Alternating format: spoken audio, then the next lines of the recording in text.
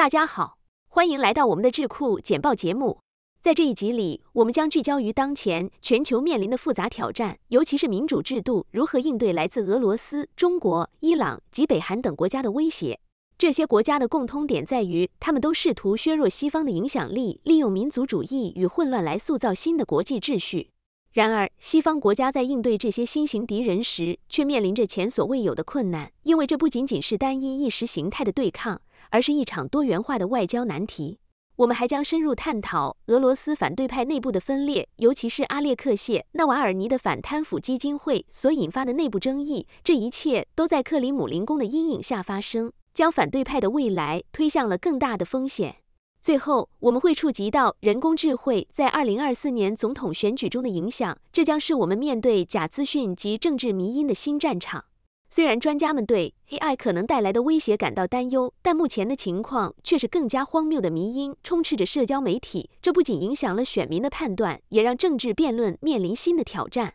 请大家继续收看详细内容。这篇文章发表在《每日电讯报》（Telegraph），详细探讨了当前西方民主国家面临的复杂国际挑战，以及他们在制定一致外交政策时遇到的困境。文章主旨在于分析西方国家如何应对一种新的务实的邪恶轴心，其成员国之间的关系复杂且充满矛盾。首先，文章指出，在冷战时期，西方的敌人是一个基于意识形态的强大集团，而如今的敌人则更为模糊和分散。现在的冲突不是资本主义与共产主义的对立，而是由无序的民族主义和混乱组成的。西方国家面对的已不再是单一的对手，而是一个由不同理念和原则组成的反西方联盟。这些成员国之间的联系几乎是出于机会主义，使得局势更加复杂。文章接着分析了这一联盟中的主要国家，首先是俄罗斯。随着共产主义解体，俄罗斯在普京的领导下正在重塑一种基于神话历史的中世纪民族感。这种虚构的历史被用来为俄罗斯的军事侵略辩护，使其对国家身份和战争动机的理解回到了前现代时代。然后是中国，尽管中国自称为共产主义思想的继承者，但与旧苏联或毛泽东时代的中国不同，如今的中国在全球市场上扮演着活跃的角色。中国的企业在全球市场上竞争，而其对发展中国家的贷款政策则让这些国家难以偿还，因而扩大了中国的影响力。然而，习近平并不希望这些国家变成共产主义的信徒，而是希望收购并剥削他们的资源。中国的这种行为依赖于奴工和知识产权的盗窃，同时允许新兴的资产阶级积累私人财富，实际上是一种国家资本主义，这更接近于法西斯主义的定义。尽管中国和俄罗斯在意图和前景上存在明显差异，但他们却因共同的目标——削弱西方的经济和军事主导地位而被认为是盟友。虽然他们各自政策中的矛盾和不相容性暂时被掩盖，但西方的防御和外交政策必须长期优先考虑揭露和利用这些不相容性。然而，目前西方国家为了避免让中国主导市场和应对俄罗斯对北约的威胁，推迟了这一战略挑战。文章进一步分析了伊朗政权，这个政权的存在几乎无法用中世纪来形容。当前伊朗的残酷镇压和病态的厌女主义超越了历史上的任何记录。对女性的压制不仅仅是男性主导的结果，也在可兰经的教义中没有任何正当性。伊朗在对西方的精神战中也全力支持俄罗斯，因此在某种程度上与普京重塑基督教古老俄罗斯的使命产生了矛盾。最后，文章提到北韩这个国家因中国的保护而继续存在，并通过为大国提供军火而变得有用。北韩几乎完全放弃了任何可识别的马克思主义原则，成了一个专制家庭的工具。这种世袭的绝对权力模式在发达国家中几乎没有立足之地，但由于历史的偶然性，它依然存活。在制定应对这些矛盾威胁的外交政策方面，文章指出，应该体现自由理念的国家美国正面临内部分裂的危机。美国现在面临着将总统职务交给一位幼稚的自恋者的现实可能性，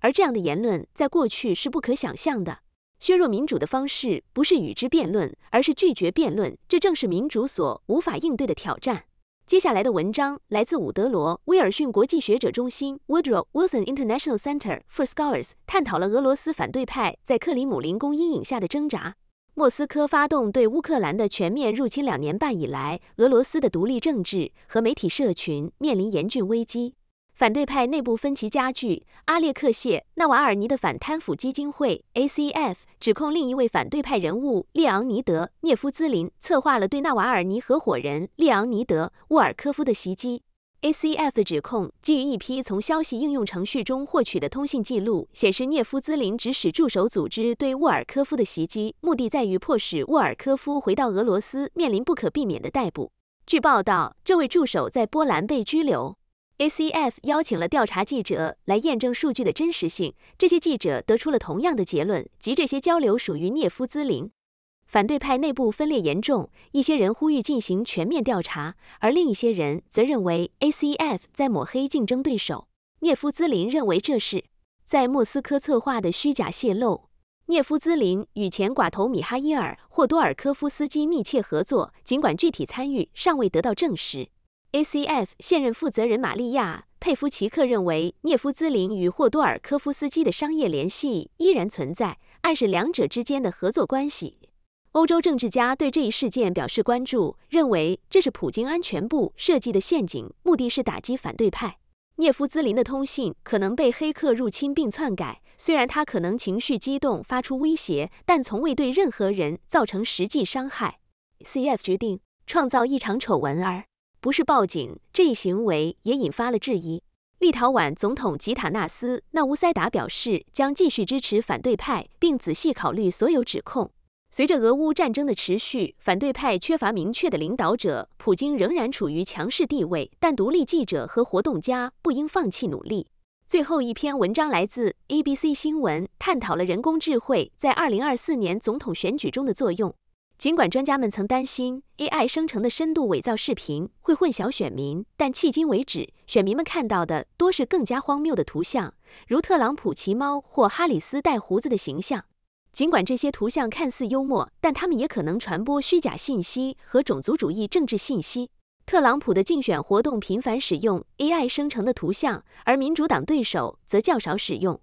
AI 生成工具的速度和可及性，使得创造荒唐政治内容变得容易。这些内容能驱动点击和关注。尽管有些图像是卡通化和愚蠢的，但它们延续了对某些社区的有害阴谋论，造成了炸弹威胁和撤离事件。生成式 AI 工具使得虚假信息传播更快、更具说服力，成为竞选活动回应在线趋势和强调信息的便捷方式。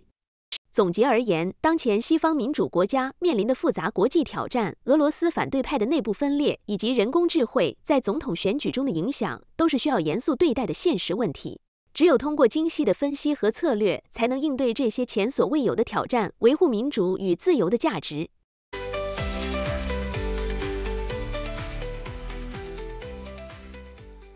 请大家继续收看节目的六博士的分析评论。好。让我们来分析和评论这三篇文章吧。首先，我们先来聊聊 Telegraph 的那篇“民主无法应对这个新的务实邪恶轴心”。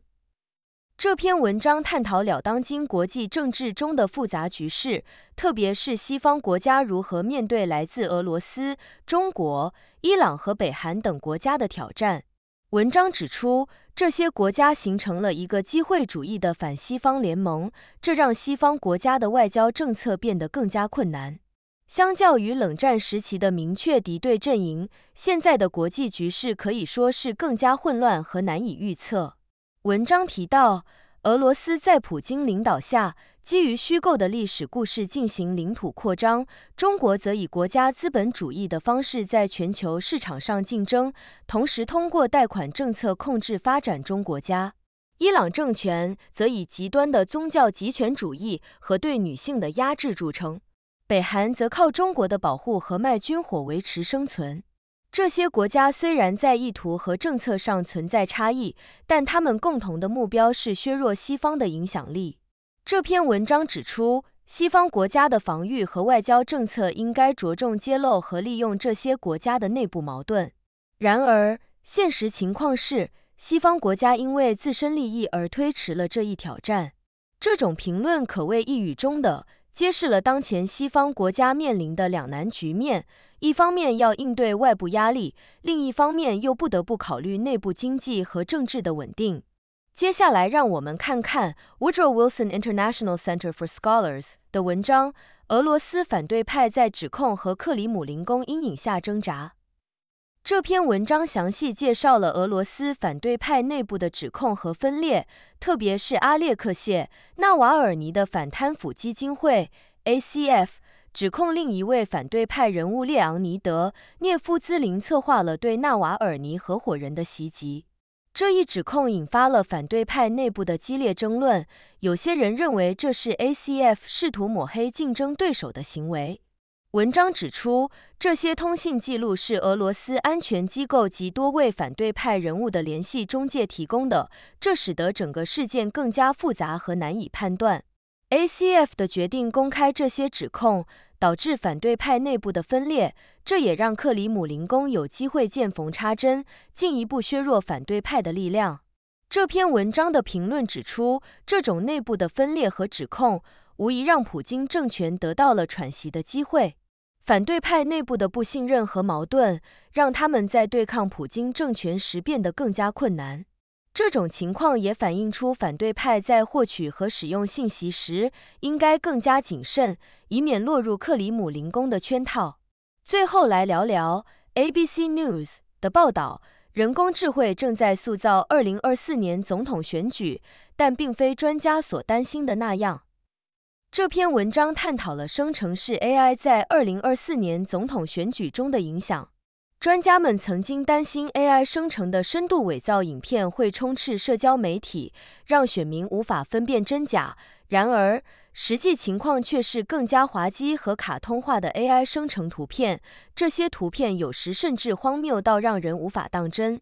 文章指出，这些 AI 生成的图片和迷音虽然看似搞笑，但也可能带来问题。他们成为传播虚假信息和种族主义叙事的工具，特别是当有政治人物和支持者利用这些内容时。特朗普及其支持者频繁使用 AI 生成的图片，目的是延续某些政治叙事或阴谋论。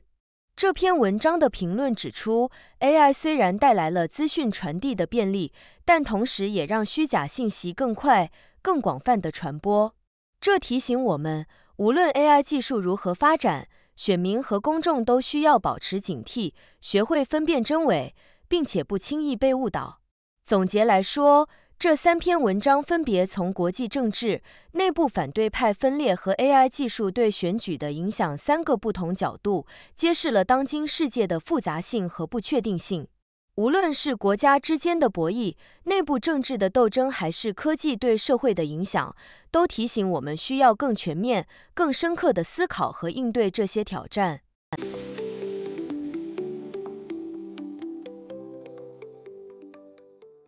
想先驱报，成为有洞察力的人。华尔街电视特别节目，纽约时间每天早上八点，李奇博士主持。和平评点。谢谢大家收看六度探索，这是一个由科学家、经济学家、媒体人、工程技术人员合作建立的新型媒体。网友与六度 AI 参与合作完成各种内容，这些内容不能作为任何决策或法律的意见。这是一个新型的试验性媒体方式，我们希望得到大家的支持，修正错误。网友可以参与讨论，也可以向万能的六博士提出你能想出的任何问题。六度世界网址是六度 World，请介绍给你的亲朋好友。